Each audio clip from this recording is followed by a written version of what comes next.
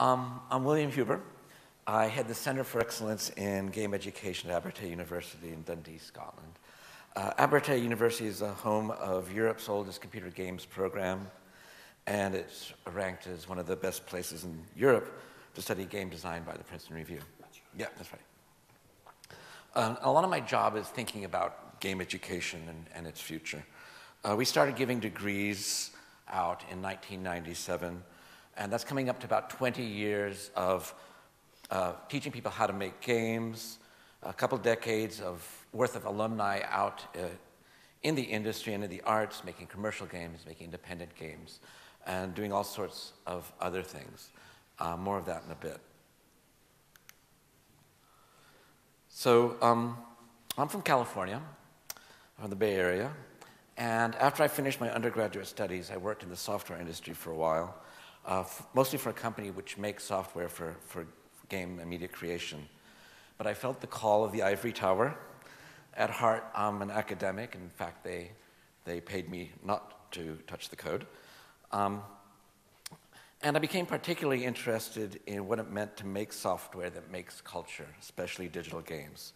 At the time, there weren't really a lot of people who were thinking hard about digital games as a cultural form. So I became a writer and a researcher in an emerging field that's called game studies. I was a co editor of one of the first academic game blogs. I did my graduate studies all in California on games and software. I'm particularly interested in game aesthetics and how they change over time. I approach games, digital and otherwise, the way that an art historian like Johann Winckelmann might have approached painting and sculpture, or the way that a literary theorist like uh, Julia Kristeva might have approached the novel or poetry, etc.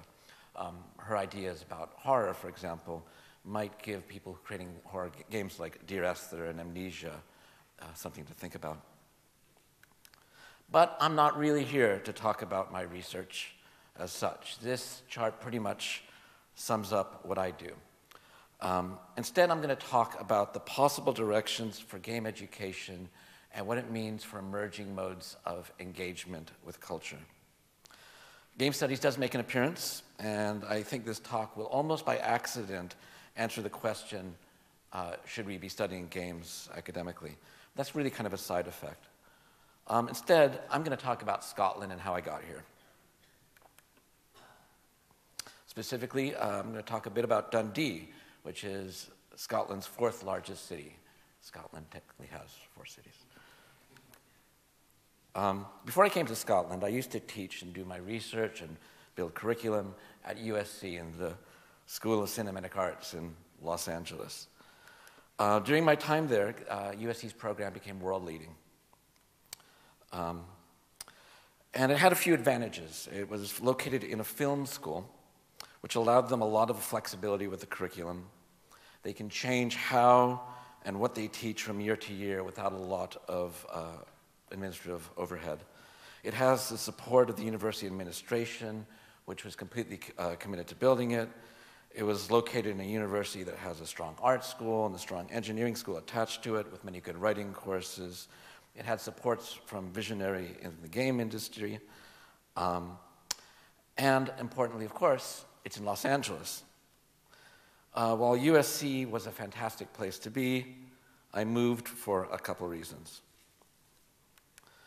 For one thing, my family started to feel that the sunshine was becoming oppressive,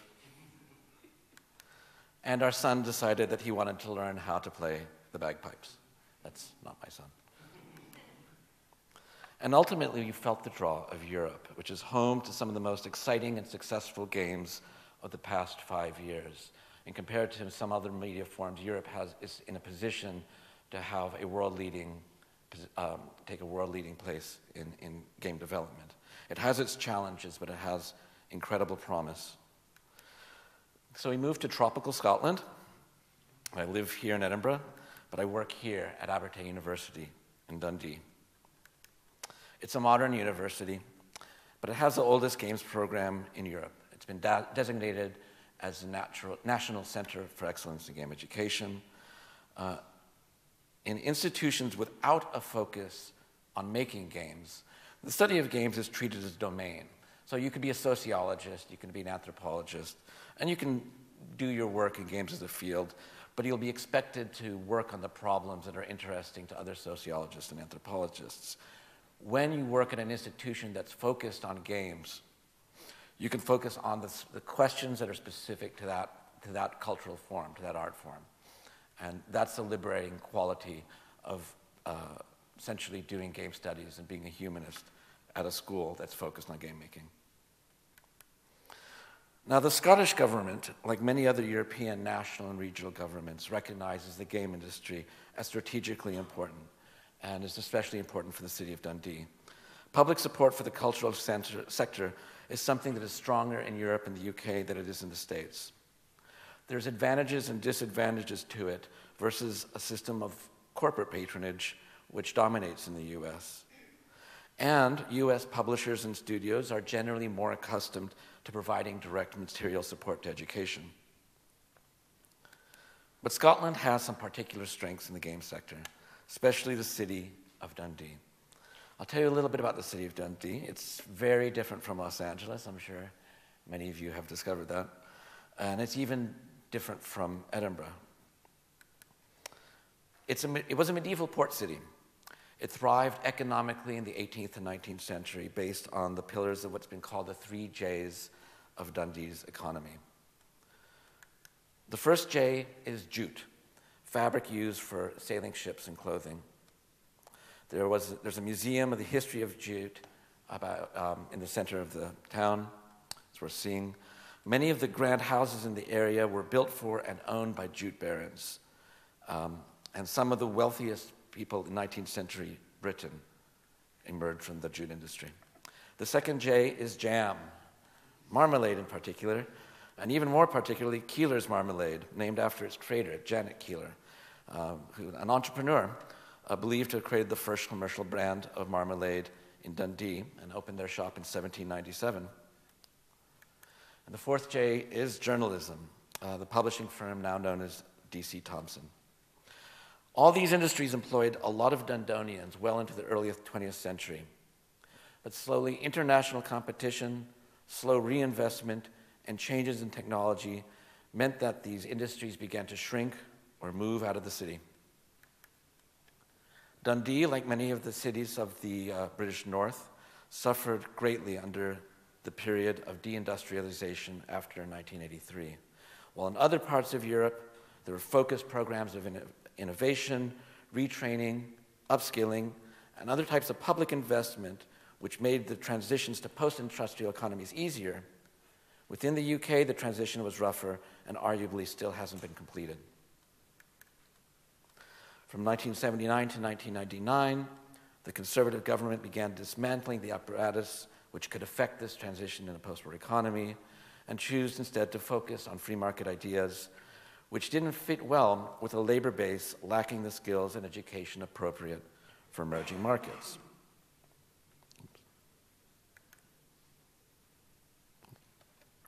The UK that emerged from this period is a fairly unequal one. London is one of the richest areas in Northern Europe, while nine of the 10 poorest regions of Northern Europe are located in the UK. Dundee was hard hit by this turn of history, with some of the highest unemployment rates in Europe some of the lowest life expectancies, um, and other indicators of a dysfunctional social system. But it did have a few bright spots. One was a Timex factory opened in 1945. It started off making watches for the US firm, but by the 1980s, they were making the ZX Spectrum. It was one of the most affordable home computers of the time, and it led to an explosion of local game design and development. There's a few reasons for this. Computer programming courses at the Dundee Institute of Technology, which later became Abertay University, and the widespread availability of ZX Spectrum systems created a culture of design and development. For the employees of the Timex factor, factory, however, the realities of globalization, descaling, and deindustrialization hit Dundee. Timex stopped making the ZX Sinclair after 1986, moving production to places where the cost of labor was lower. And in 1992, After losing money for several years, the Timex factory became the site of the last major strike in the series of strikes that marked that era. Uh, the de- while the deindustrialization of the, of the UK was inevitable, it could be argued that it was poorly managed compared to the way that process uh, was managed in areas like northern Germany and Scandinavia. Timex went from employing 5,000 people in the days of the ZX Spectrum, when it was the largest employer in Dundee, to employing 70 people at low wages before being closed at the end of the strike. So I'd like, I'd like to turn this into a really happy story about how an emerging industry, the game industry, saved the city of Dundee. But the, the, the truth of it, and as an academic, we, deal with, we, we try to deal with things truthfully, is that for many of the people who were working at the Timex factory, women, most of them, including the leaders of the industrial action, they were skilled assembly workers, but they weren't software developers. They didn't get to enjoy the benefits of the emerging game industry, and many fell into poverty. There's no way they could have competed on a wage level with East Asia due to the higher costs of housing and food in the UK. These economic stories that are happy at a regional level are not always happy at the level of actual lives of the people who live there. The plant closed in 1993. Dundee had won the contract uh, to build the Timex, uh, um, build the Timex factory um, due to its low cost labor, and it lost the factory due to even lower cost labor. But there was one person who had been employed there during the 1980s, David Jones, who, as a very young man, worked in the ZX Sinclair unit before Timex moved its production overseas. He is said to have uh, spent his redundancy package on a Commodore Amiga. He had, he had been working on a computer science degree at Abertay University while experimenting with game programs with his friends in a computer club. He created a studio, DMA Design, now called Rockstar North, the, creation, the creator of the most financially successful commercial product in history, GTA 5, but only long after it moved to Edinburgh and was acquired by New York based Take Two Interactive. I still think there's something very Scottish about the GTA series as a kind of poisoned love letter to America. That's a talk for another day. When it started, it was a group of friends who met at the Kingsway Amateur Computer Club in Dundee. They developed on the Commodore 64 and on the Amiga 1000, as well as the Sinclair Spectrum. The first game they created was a side scrolling shooter called Menace, and uh, he wrote it while he was living in his parents' home, which continues to be a model for uh, indie game development. It sold about 15,000 copies in the year after its release, which was fantastic for an indie game at the time, and allowed him to fund a studio. He hired programmers and developers who were also studying at Abertay. And uh, this, the, the term didn't quite exist then, but this was a scale of production we call uh, an indie team today.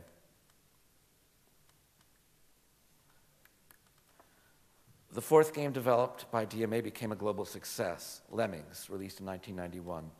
The economic success of this game was enough to make economic waves in the city of Dundee, and the perception that Dundee could pursue some kind of leadership in the industry followed on from it. Most of the people who would work in the studios producing games in the 90s came from Abertay University, and by 1997, we began offering Europe's first bachelor degree in computer game technology um, and a master's degree as well. It was conceived as a the master's degree was conceived as a conversion course to allow people with a general computer science background to specialize in games, and it reflected the perception of the needs of the industry at the time. The growing industry uh, understood that it needed individuals with focused technical competencies who would join up with a burgeoning local industry. Grand Theft Auto was released in 97, and soon after this, DMA, which would be bought by a number of companies before uh, being taken over by Take Two Games, uh, moved to Edinburgh. Reasons for the move and the closure are informative. A lot of it has to do with what it takes to attract and hold on to a creative class. Other studios opened, and would hire teams of people laid off by the closing of earlier ones. There was Realtime Worlds, which opened in 2002 and closed in 2010. YoYo Games, uh, producer of the engine GameMaker Pro, uh, set, up a, set up studio in set up presence in Dundee. Rage Studios, Ruffian Games, they, prov- um, they all relied on a skilled workforce of programmers, artists, and designers coming from Abertay University.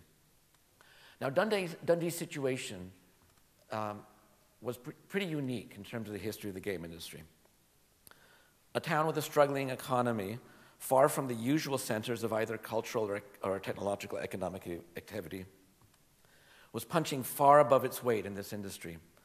Abertay's role was more than just educating creators, it had to act as a center of gravity for a fragile industry, helping incubate and accelerate new studios. It now hosts uh, residential game competitions, Dare to be Digital, which culminate in the award of a BAFTA. And it runs, uh, uh, which are, and the finalists from Dare to be Digital are showcased at Dare ProtoPlay, one of the largest independent game festivals in Europe with free public admission. The game sector in Dundee is embraced by the City Council and the community at large. And um, as a contrast, so I came from Los Angeles, and Los Angeles is an industry town. If you ask somebody, uh, if you ask somebody what the industry means, it's just cinema, it's film. Um, if you say you work in games in Los Angeles in a cinema in an industry crowd, they kind of look at you like, "Oh, that's nice. I'm going to talk to that person over there in the industry." If you tell someone you're in games in Dundee's, um, they'll shake your hand, thank you, and and and um, make you feel like you're really welcome.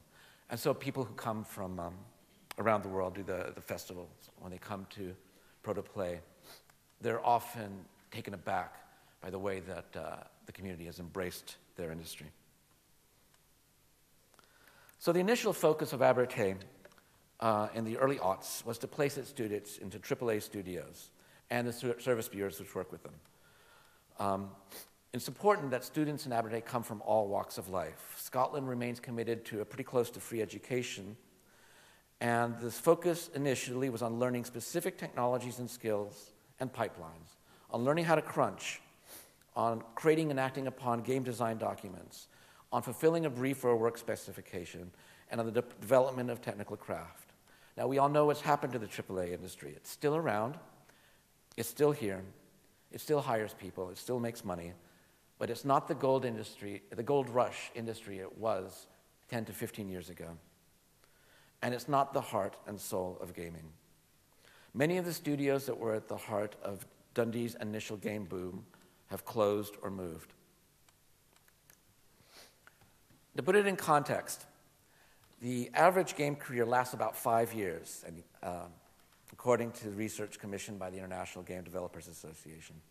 Uh, pardon the Bowie reference. I made this slide slightly before he passed away, but um, it still works. According to their research, most people who leave the game industry go into various uh, IT and digital media sectors. Uh, the software industry absorbs a lot of them, who at the best of, and those who get taken up into these industry at the best of times still stick around uh, to participate in game making or mentoring when they can. Some go into media production. And they do all right. I have absolutely no reservations about recommending a game education to anyone. Um, people who leave the game industry move on to very strong careers. Uh, the loss is not to those people per se, it's to the rest of us who are still in that industry and the rest of us who um, play and consume games. Um, the game industry serves, these, uh, serves the people who go through it well as an apprenticeship, and they end up getting paid better in more stable, if somewhat less fun, industries if and when they move on. And the losses to us and the audiences who lose the opportunity to see the wisdom, maturity, and perspective of the creators as they get older. I remember reading somewhere that the average debut novelist's age is 37. That's when they, they often publish their, the average age to publish your first novel. And that's past the game industry's retirement age. But there's another loser. Regional economies lose, and local communities lose, as the creative energy and excitement that orbits game scenes and game cultures dissipates and moves away. These industries that absorb game talent, I think of as buffers. Veterans of development can jump back, and, uh, back in after a while. They can offer mentorship and even investment. But if those industries which catch people leaving the industry aren't nearby, if they move to London or they emigrate to Los Angeles or San Francisco or New York, um, that doesn't help uh, cities like Dundee. Many of the people leaving the game, game industry move out of Dundee or out of Scotland. Both the Scottish Government and the Dundee City Council want to support a healthy game industry in the area. But they're still committed to a model where medium to large in studio employs a few hundred people in a wide range of, of roles. They reasonably want to make sure that the public investment they're putting into studios pays off. The problem is metrics. How do you gauge success? How do you make sure the public investment going in to support an industry is going in the right places? A big studio opening and hiring a few hundred people for a few years is an easy success to understand. Trying to attract large existing firms to locate offices in the area is the, the, the default approach to regional development. But an environment where dozens, perhaps over a hundred, very small studios, from two to ten people, starting and closing continuously, popping up, is not a model that they understand how to support beyond an initial stage. They don't even know how to gauge whether their investment in that model is paying off. They can't just count seats filled, and it's not easy to figure out the ripple out effects and benefits of a churning economy of very small studios. They're smart people. They do understand that things have changed. The question is how to best support it. You know, the game industry has changed a lot over the past 10 to 20 years. Games have become incredibly expensive to make, and they become incredibly cheap and easy to make. What this means for game education is this a skill centered approach directed for a specialized role in a very big production system works for large scale games development, but is inadequate for the many small studios approach. When you combine focus on upskilling with the small studios model, you get the outsourcing model. There's a place for it, especially if there's something you do really, really well, like motion capture or AI or localization. Then a very skills focused approach can be beneficial. But as a strategy for regional development, it leaves a lot to be desired. The problem with a skills centered approach is that specialization leaves you vulnerable to changes in technology and price competition. It's easy to say that not everyone in the game sector is going to be producing original content or will have a clear authorial voice or identity. Attention to craft is valuable. Successful projects need people who are focused and dedicated to the craft of their roles. The problem occurs that these craft roles are often more fungible than the roles which have more authorship, than those roles which are associated with named people in recognized teams in known places. When the 90s game boom was happening, game development was still fairly local. Today, it's possible to produce a game using production houses and bureaus that are distributed throughout the world. And for the perspective of economic development, of making sure that the people in your region of interest have jobs and are producing goods and service for, for others in a way that lets them maintain a decent standard of living, you don't want your industry nor your career to be too fungible. So, this is a challenge for game education, especially if you're not in Los Angeles or London or Tokyo. How do you make your local game economy one that can't easily be switched out for another, a cheaper one that does the same work as yours?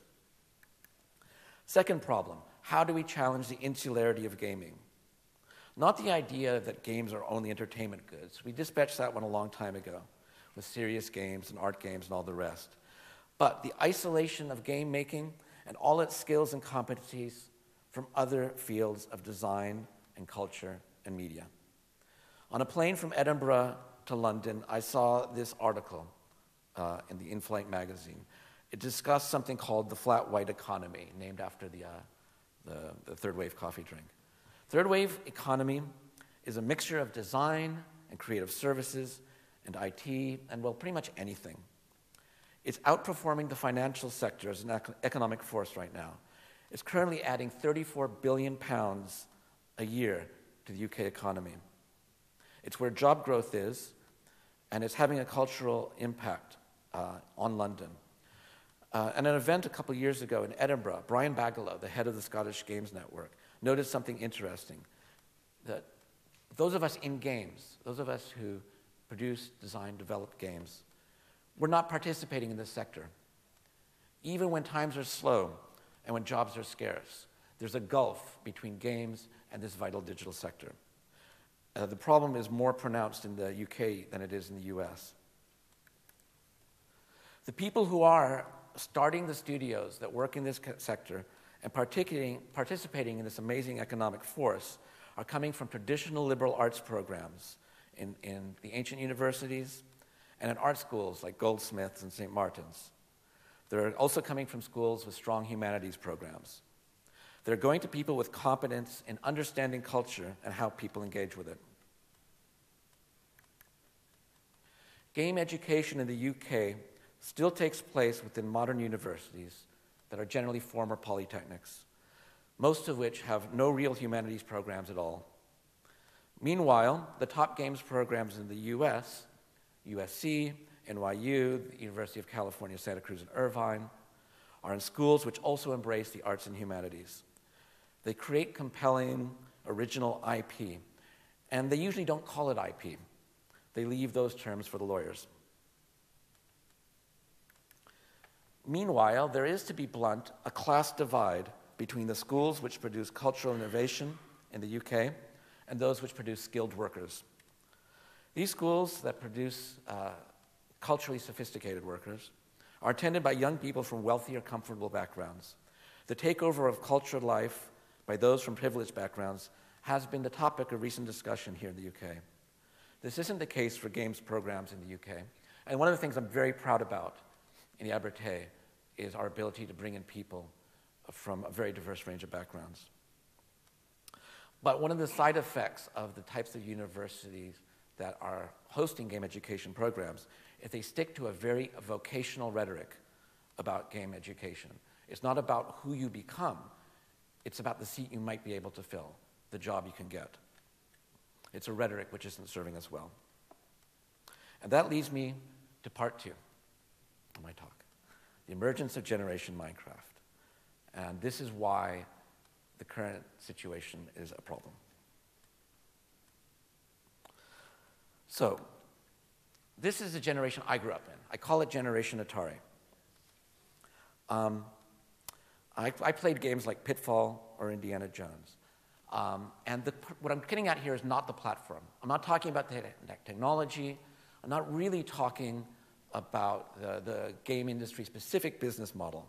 I'm talking about the mode of cultural engagement. How we understood content, how content moved through a value chain, um, where we thought authority lied. When I played a game of Indiana Jones, I understood this as a derivative interpretation of content that occurred elsewhere. There was a, a chain of authority that led all the way back to Steven Spielberg. The authoritative form of that game was Indiana Jones, Pitfall, and these other brilliant, fantastic games. I loved them, but I understood that authority really laid elsewhere. The, the value chain led up to um, an IP owner that was very remote from me. And everything I consume simply pointed towards the distant truth of the franchise with which I was engaged. These are the, some of the features of what I would describe as Generation Atari. The people who grew up in Generation Atari created uh, the, a new environment that young people grew up in. I call that Generation Pokemon. It's a very different approach to IP. Um, and I, this is what characterized the, the young cultural consumption of what I would call the millennials, what we call, now call the millennials. With networked audiences, creating their own system of interpretation. One of the features of Pokemon is that you don't know what the canonical form of Pokemon was when you were a child. Was it, did the animated series come out first? Was it the game? Was it the card game? It didn't really matter. Rather than cascading from an original authority, it was more like a database of content with which we could interact with multiple channels. Instead of there being distant authority, there was a culture of expertise, and we could become experts on Pokemon when we went to school, and we would read Nintendo Power Magazine and learn all the things about the content we were doing. Eventually, we start feeling feel comfortable reappropriating and reinterpreting that content. Altruism at this point was still managed. Intellectual property was still managed. The Pokemon Company, to this day, still continues to manage and control its IP. Um, so, at one time, we thought this was the future of cultural engagement. We thought this was the end of the story, the end of history. We were wrong.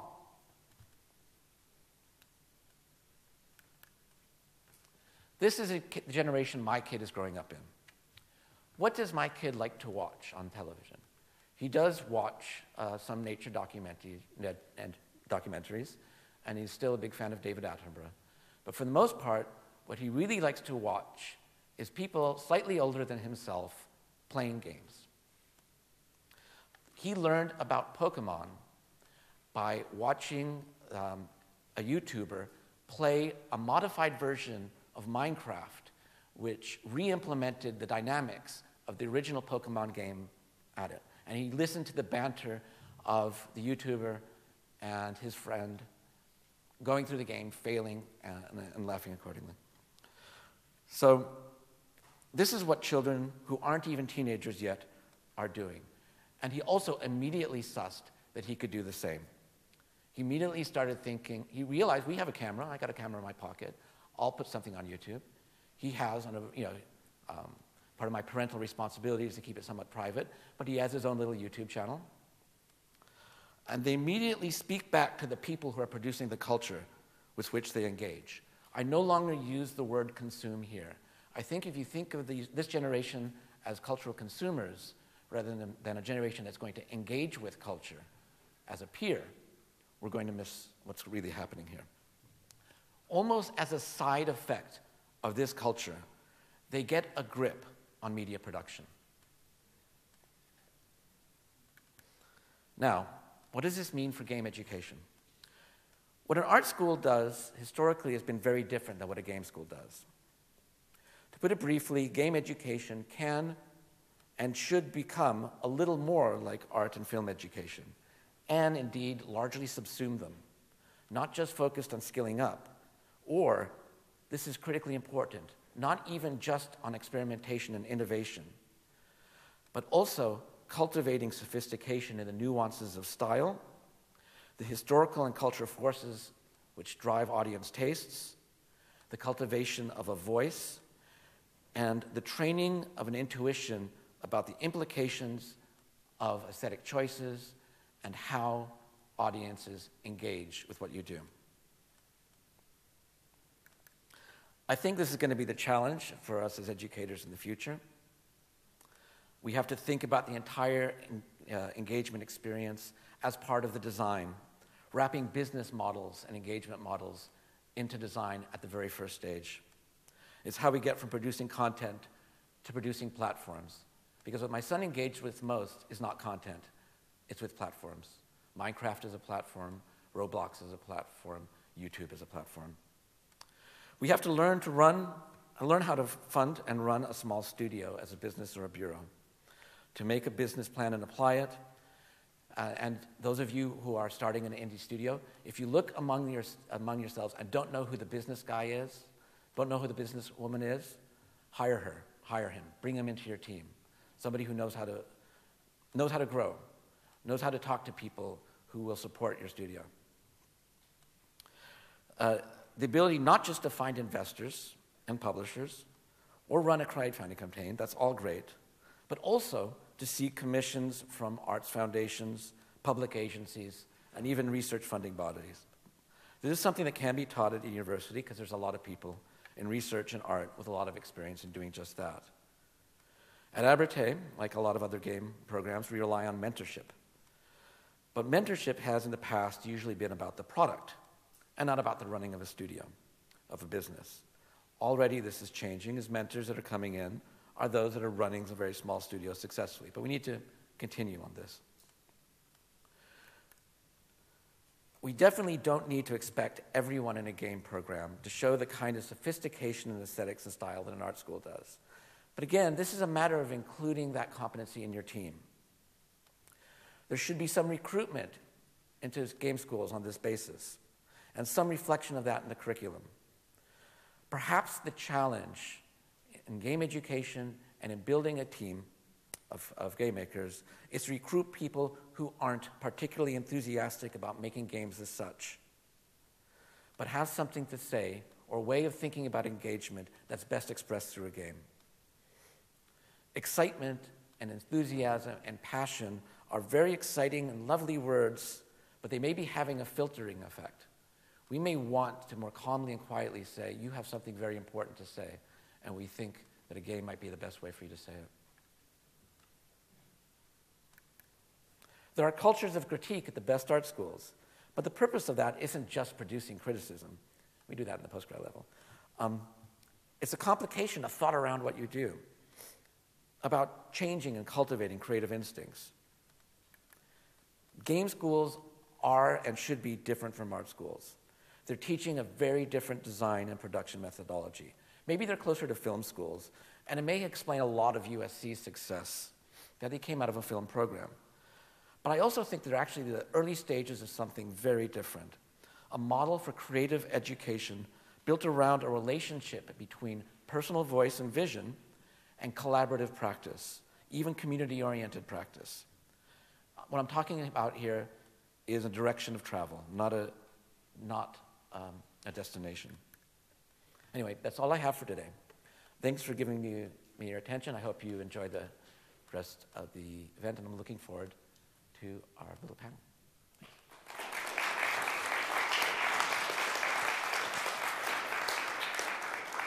My name's Gareth Cavanagh. I'm incredibly Welsh. So if you don't understand what I'm saying, the danger words are Gareth, stop! Rewind. Right? Okay. Can you understand what I'm saying? Excellent. Um, uh, just to explain my background, uh, I've been a professional animator for the last 17 years. Uh, I've worked in games, uh, I've worked in kids' TV, Fireman Sam. Uh, I've worked uh, as an academic, I've worked in academia as well. I, I taught for eight years on the computer animation and game art course in South Wales, in Cardiff. Uh, it used to be called University of Glamorgan, now it's University of South Wales. Uh, I've also taught, uh, uh, well, I, I ran the, the game enterprise course at the USW as well. And that was, it was an interesting course actually because it was a game design course, but with an entrepreneurial spin as well. So I, I, I, everything William just spoke about resonates really strongly because the, the focus on that course wasn't just teaching the kids, the students, how to make games, but it was teaching them how to market those games, how to sell those games. So what, what you said there about, you know, identify the, the business person, that were, that's incredibly important now in the current climate because these guys weren't, they weren't making AAA games. They had no intention of making AAA games. They were making independent games for themselves, by themselves, you know, so they had to know how to sell these things. Um, I also, at the moment, i I've just finished one job. I was uh, the animation manager for a games dev studio in South Wales called Oyster World Games. Uh, and I also run my own micro business called Irontown Interactive. Uh, because I, I, I really want to make games that educate rather than just games that you, that you sit and immerse yourself in. I want to make educational games. So for the last few years, I've been making a, a, a game called Iron. I'm from the South Wales Valleys. I'm from Merthyr Tydfil. I don't know if you know of Merthyr Tydfil, but it does share uh, an industrialization background very similar to Dundee. You know, we had uh, an iron production uh, heritage that was decimated and coal uh, during the 70s, and so the, the town is only just, well, it's, it's not recovering, but it's, moving, it's starting to buds of recovery, you know. Um, and I wanted to make a game about that industrial heritage. My, the first idea of it was I wanted to make uh, Red Dead Redemption in Merthyr. But I didn't think that would work from an educational point of view because I didn't want to talk about prostitutes and stuff like that in schools. So we lost that bit and made it more educational. But um, so yeah, that's, that's my, in a nutshell, that's my background. I got lots of, lots of game hats, lots of animation hats. Uh, yeah, hello. Uh, but yeah, so I, I'm just here to talk uh, and to pick up on a lot of the points that William made about um, uh, uh, the, the, the difference now, the difference now in education. Uh, when I when I was when I studied animation at college, it was very much it's skill and drill, isn't it? It's lecturer stands at the front and talks, and you answer questions, or you ask questions, and you think, you know. But um, uh, there's there's a difference now. It's very different for a part for attention spans are incredibly different. Yeah, uh, and I blame Sky Plus for that. The ability to fast forward, stop, skip, oh, that's, that's ruined education. Um, so we've got we've got to think of new ways to engage people in ed, you know, engage students in education so we don't lose them. But I don't know how you want to handle this, William. Do you want to, you want to answer, let them ask questions or? Sure. I think um, we'd like to hear from you. Many of you out here are, are studying games, making games. Hmm. There's a lot of people who are in game education right now. Um, and you, probably, you have more perspective on where, where it's taking you than we do. Yeah, I mean, uh, well, just as a, as a show of hands, then, yeah, um, just for me to gauge the sort of, you know, who you are as students. Uh, are there co coders, you know, devs, yeah, one or two, um, designers, quite, quite a few designers, artists, um, you know, animators, 3D modelers. Okay, so it's, very, it's very diverse then, yeah. Are you happy with the way that you are being taught? Don't be afraid. Are, they, are these your students? Right, right. Well, so, yeah. We have, we have um, people from all around the world. Right. Come, come um, so I guess the question, one question I have is about aspiration, mm. right? So originally when game education began, there was one outlet, right? Mm-hmm. That was the, the, the, seat in the chair, you know, to put the bum in the seat, right?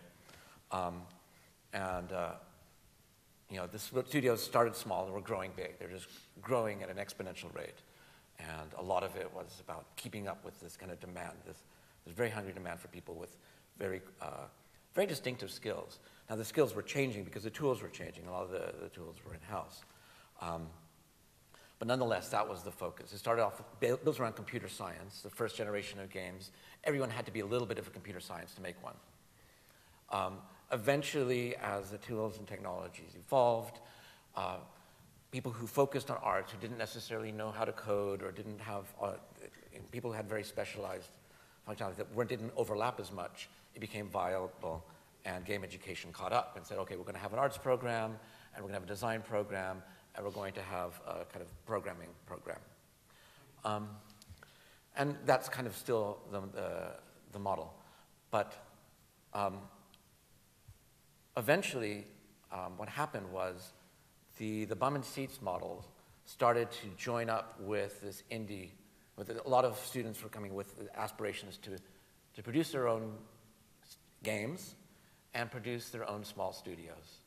Uh, we saw that as the growth sector, had a lot to do with the emergence of mobile, but even before that, I think in the, uh, in the early aughts, there was, uh, there started to be a, stab- a, stability was introduced in the number of people who, who, I mean, in the, the need in the labor market, in the AAA sector, um, and the growth to take place in indie. So that was the second output.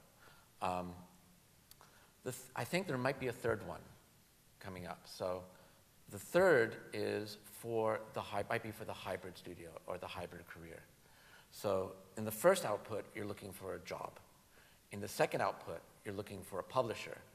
In the third output, which I think we, are moving to, you're looking for an investor. You're going to be looking for people who are going to see, not just help you finish your game, but are going to help you become stable enough to produce things that might be games, they might be uh, other types of engagement and experience. It might be the next Pokemon Go. It might be the next Foursquare. Um, it might be all sorts of different products. in which you could bring the competencies that you've developed while studying games into a ranger field. So that's where I think we're going. Mm. Yeah, it's um, know, running a, a, game studio. It's it's a it's a difficult proposition. It's not. It's first of all, it's not a sustainable economic um, model because essentially, unless you get a hell of a lot of investment up front, you don't see the benefits of your creation until the end, you know? Uh, like I said, I, I'm, I've got a couple of different experiences now, working in broadcast, working in games, and working in education. And the, the difference with broadcast is that it, you get commissioned up front to make it the TV show. And with that comes commissioning money and funding and, you know, in, in, in sort of uh, milestone deliveries. But with games, you, as an independent studio, you live or die by your sales. So if you, if you spend all your, your, you know, your time on one intellectual property, then it's, it's almost like a lottery win. You know, you, you think, oh, well, it's going to, you know, it's an angry bird, and it might not. It might not be. It probably won't be. The first one won't be. So it's, it's, it's difficult because once you get to that, once you finish that first one, what do you do next? Have you got the money to go on?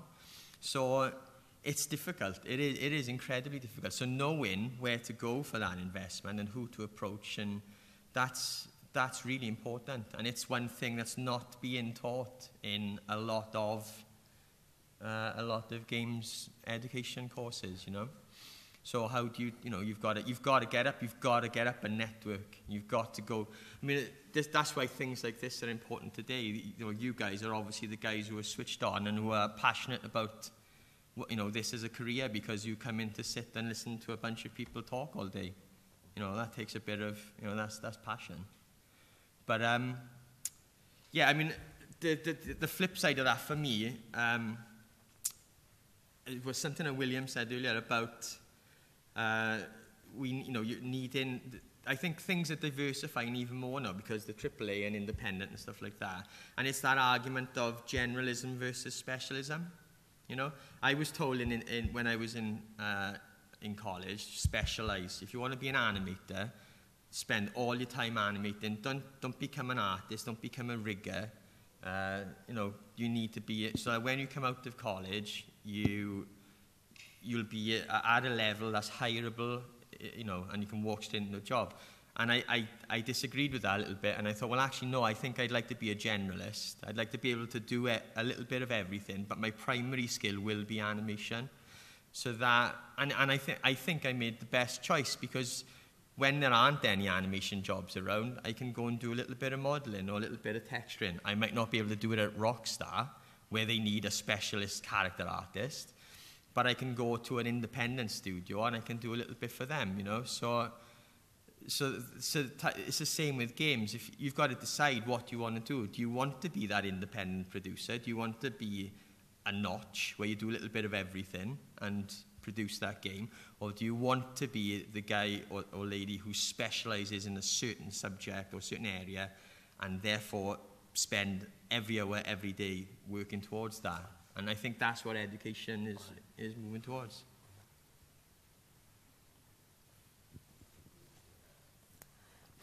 Hi there. Um, this is a question for both of you. Um, there's a bit of tension we have in the educational sector. I'm, I'm an educator. I teach game software development at Glasgow Caledonian. And the issue we have, like in the wider game sector, game education sector, is we're getting a lot of pressure to go down the skills agenda mm. from industry, from government, from our own university administrators, from our students. Mm-hmm. So, how do we balance those sorts of tensions we have? Is it a matter of the long game where we have to trump these amazing indie games, these great people with great voices? Or is it a generational thing? We're just having to do this fight, and the next version of our myself will not have that problem. So it's just a quick throw out there to see where you see us as educators what we can do to kind of push against that tide, so to speak. Mm. Well, it's not either or. I mean, people still know how to. You have to know how to do something. Um, I think that you know, you know, there's kind of the the tactics we, we, we, we need to do as educators to evidence that we have we have taught some, some hard skills, but wrap them in the context of something broader, right? So largely this is how, how, we, um, how we present the kind of the programs we're, we're, we're building. Um, I, whenever someone uh, kind of tries to drive a skilled agenda, especially if there's, it's a panel of, of uh, politicians or, or, uh, or um, administrators, I always ask them how many of them are doing what they did, what they studied at uni right now, right? Um, and very few of them are, you know, you'll, you'll, I think you'll find. Um, the other issue is uh, we need to build that case more broadly as a sector. Um, especially, uh, there's a hazard. I think there's a risk that uh, a lot of the pressure to, um, in my interpretation, this is going to be a little bit uh, provocative, perhaps controversial. A lot of the pressure for a skills-based agenda is about uh, lowering the cost of labor, right? Um, you, you, that we have a lot of people who leave the game industry because, frankly, options are pretty good elsewhere. If you're a competent programmer, if you're a competent animator, you can often, you know, after five or six years in the game industry, you can leave the cycle of crunch and get paid more consistently and more in another more in adjacent industry. So, you know, some studios are like, well, you know, this 28-year-old programmer, she just left to work in the financial sector. How am I going to replace her? Well, obviously you need to train 40 more people so I can hire four of them, right? Um, so, I mean, we need to kind of answer back and say, well, you know, you, the industry has to think about why, we, why it's running into this, this issue as well. We know um, Aphra Kerr, uh, who, who is probably the most, you know, the, kind of the most respected analyst of the games industry in the UK, says that there isn't actually a shortage, as, as in, there isn't actually a shortage of educated people, trained people who know how to make games. The problem is that once they have these core skills, they don't stay in the game industry very long. Um, 87% of all people in the game industry have uh, a college, uh, have a university degree that, you know, in a, in a specialist field. Um, I think that it's about a dialogue to, to say, okay, what you're really looking for is you want to make sure that you have individuals who are going to have a long-term relationship with your studio. And how are we going to make that happen? How are we going to make, have continuing professional development to keep people in current skills and, and, and, uh, and keep them well trained? But I think we need to think about this in terms of a sector. I don't think it's a thing that one program in isolation can, can, mm. can address.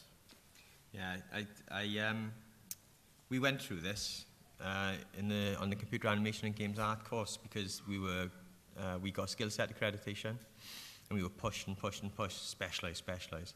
And it worked for two, three years. And the, it suited the industry then, doesn't suit the industry now, you know? But I like to, I like to bring a, there's one guy, there's one guy I like to think of, right? A guy called Jamie Lee Lloyd, right? Uh, he's from, from my area, from Aberdare, and he's a Valleys commando, right? Well, he was a hell of a boy, right? And he, and he was an amazing artist. And he came on the animation course, he wanted to be an animator, right? And he sucked at animation. Terrible, right? He barely got through the first year. Second year, he started playing with modelling and texturing, and the second year, he sucked at modelling and texturing. Absolutely terrible. Third year, yeah, summer of, of the third, he said, ah, I'm going to I'm gonna put my head into this now.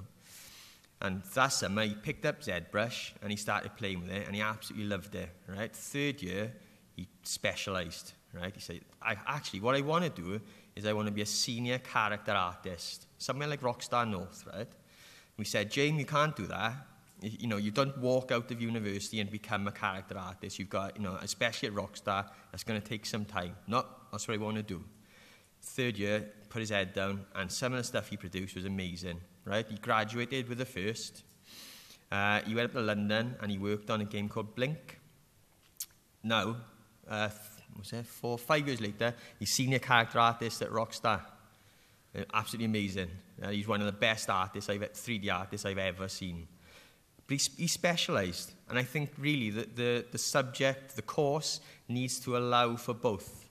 Yeah? If you want to specialise in an area, fine, we'll cater to that. If you want to be a generalist, fine, we'll cater to that. It's not easy, But there, there are ways of doing it.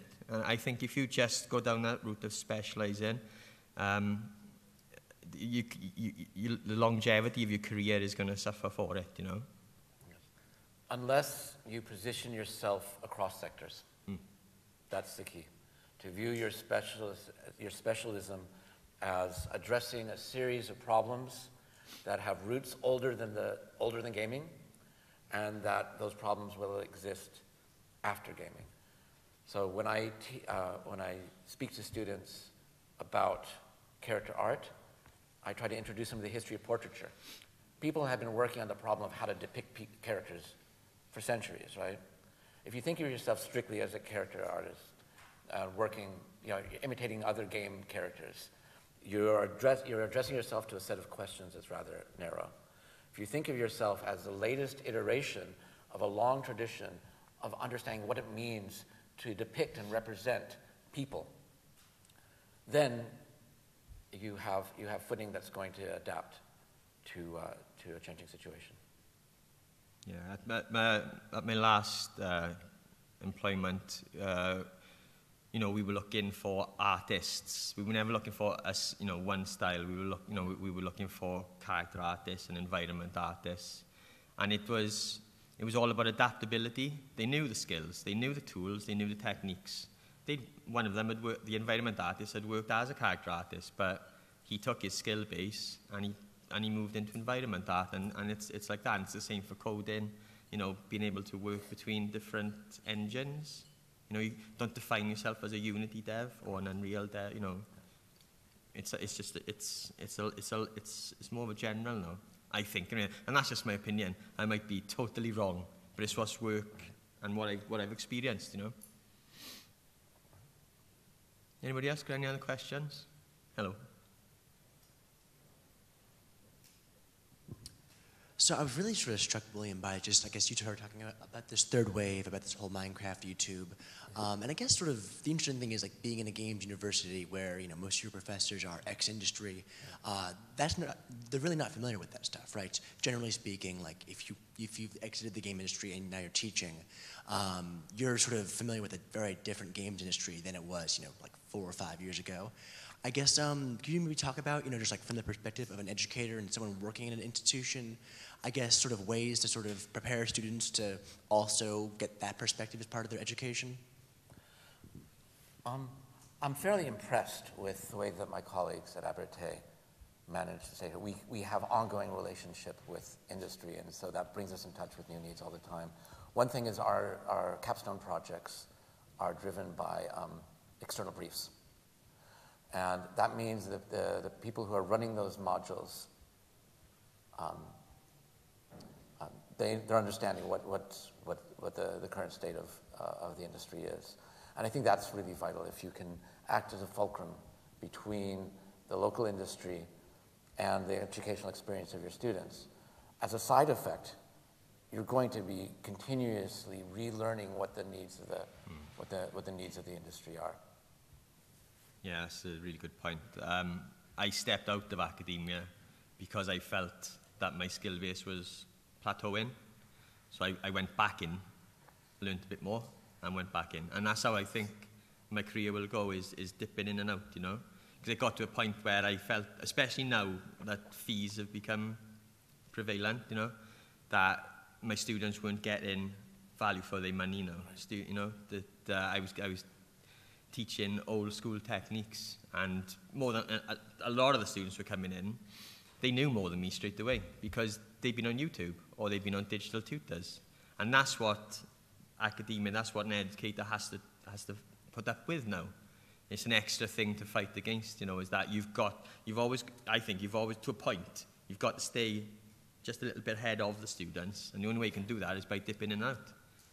But there is a point, and it's and absolutely right, that the student will get, you know, will get to a better level than you because they're going to be sitting there doing it every day.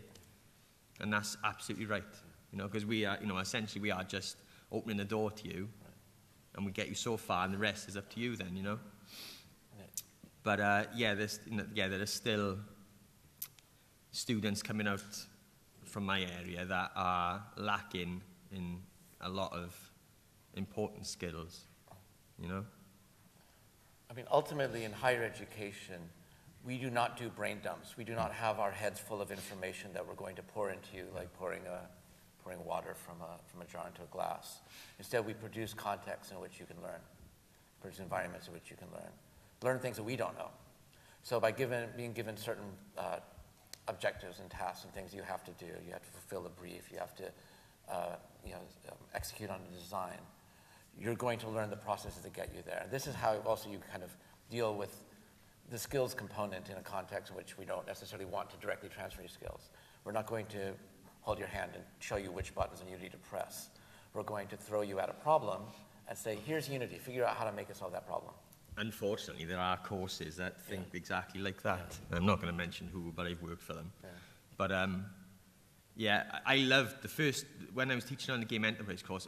It was amazing. It was an amazing atmosphere because uh, something you said about there about yeah. em, uh, employing people who don't like games. Yeah. I hate games. I, I, I, used to, I used to love games. I was a gamer right up until I started making them. And now I, I just don't play them. Not like, not like I used to. I don't like what AAA games has become. I don't want to run around shooting things. It's not because I don't like shooting things. I just, it doesn't interest me, you know. I'm really interested in, uh, have you played Monument Valley?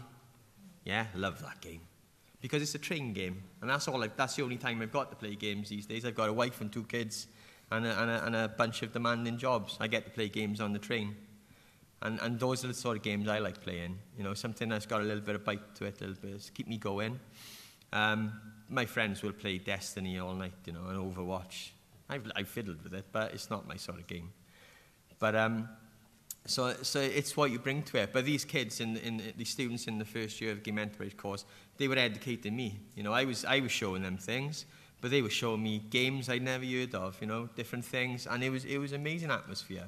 That's what, that, I, think, I think that's what FE, uh, HE should be about, you know. It's, it's, it's not a drill and skill. It's not someone standing at the front giving you information. It's you guys feeding information back as well, you know. All right. I think that's all we have time for today. I think we actually have less time than, than we use. Um, so thank you. Yeah, thanks. Good job, man. That was really, uh, yeah, it's an so much in places. It was amazing.